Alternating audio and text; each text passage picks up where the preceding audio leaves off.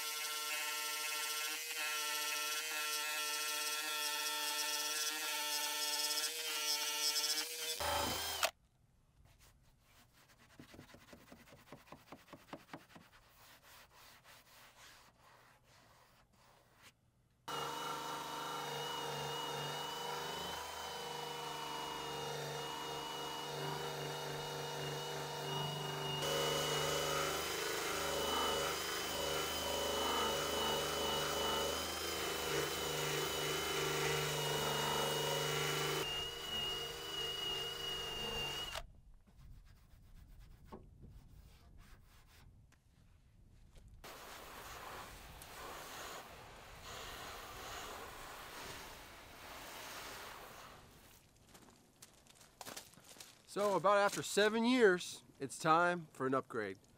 I've had this thing since uh, I believe 2014. It's an 05 model. It's been great to me. I've done a lot of work to it.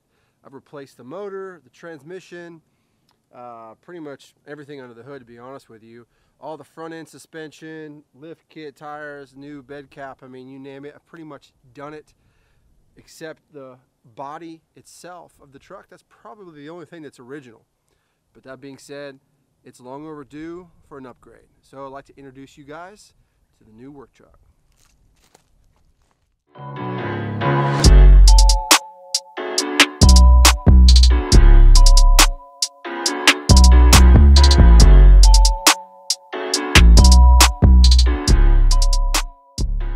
So here it is guys, the 2019 GMC Sierra 2500 HD.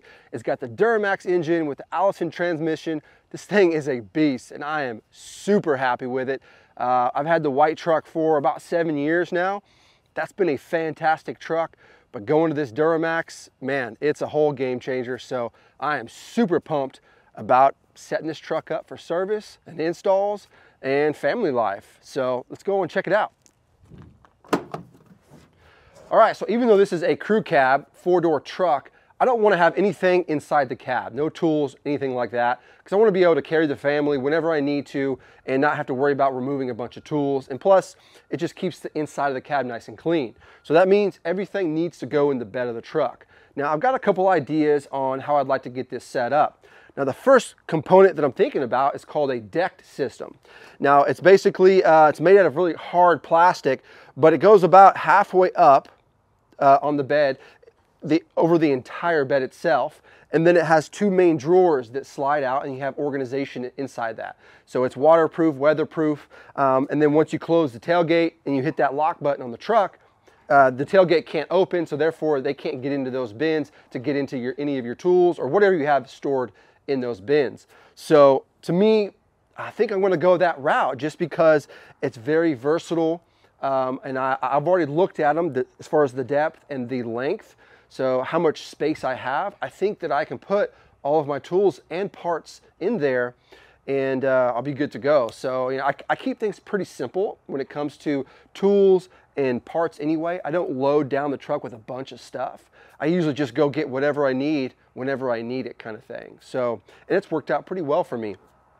So starting off with the, with the deck system, I think that's going to work out pretty well. And then on top of that deck system, it's very robust. So you can put stuff that's heavy on top of it, like an air handler, uh, coil, compressor, condenser, whatever the case is. As long as you've got the height, um, as far as that goes, then you know that's no problem there. And then secondly, I'm thinking about putting on a bed cap, just kind of like I did on the white truck, but not the same style. I don't want to go with that utility looking um, metal uh, topper. I want to go with one that's probably fiberglass, painted to match on the truck. It's got sliding windows on the side so I can reach in and grab if anything if I want to from the sides. Um, and then it's got some, uh, I think some tracking on the top so that way I can put some crossbars, put a ladder up there, uh, kayak, whatever the, whatever the case is. Um, so again, I want to keep this truck very versatile because it is my only, it's going to be my only truck. I'm selling the white truck. So it needs to be uh, you know set up for for family life. I like to do camping, uh, you know, taking the family on trips, things like that, and then also for you know service installs or whatever whatever it takes to do with the HVAC side of the, of the company. So I'm pretty excited about this. I really enjoy organizing, right? And thinking about things on how I'd like to have them set up, what works, what doesn't work. So this is pretty exciting to me. I'm having a lot of fun researching and figuring out what I would like to do for this truck. So if you guys have any options for me, any suggestions, please leave it in a comment down below. I'd love to hear your thoughts on that. But that's going to complete this video. I really hope you guys enjoyed it. Hit that thumbs up if you did. Subscribe to the channel if you haven't already. Until next time, see you guys later. So I've had this truck just for a few months now and I took my son out to Land Between the Lakes out in Kentucky. Did some little bit of off-road trailing and some camping. Now I researched where the trails were going to be not so bad, right? I, didn't want to scratch up the truck or mess it up. Um, so I didn't want to hit any trails that were too intense. So I did my research and I found out which ones were good and that's the ones I went down. But as I was going down them and uh, trying to find a good camp spot, I went down uh, a certain uh, path or a certain trail that looked, you know, to be nice, wide, and open. But as I got about halfway down, uh, you could tell that no one's been driving down that uh, path for a while. So all the trees were kind of leaning over, and um, there was really no turning around. I mean, I, I, thought it was just a little bit and I'd get through to be fine, but that was uh, that was a mistake. I ended up getting pinstriping all the way down the truck, just light scratches. And with this black paint, it pretty much shows everything. So that was a bummer. I ended up having a, a detail guy come out and I spent 350 bucks on a full exterior detail where they buffed it and waxed it.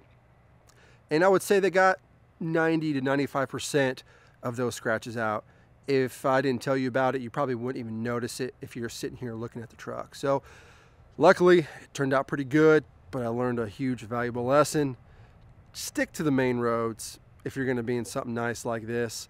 Um, you know, this is not a trail rig or anything by any means, but I did want to get out and do some camping and check out that land. So um, just kind of learn the hard way, I guess. But it's not going to stop me from going back. Woo!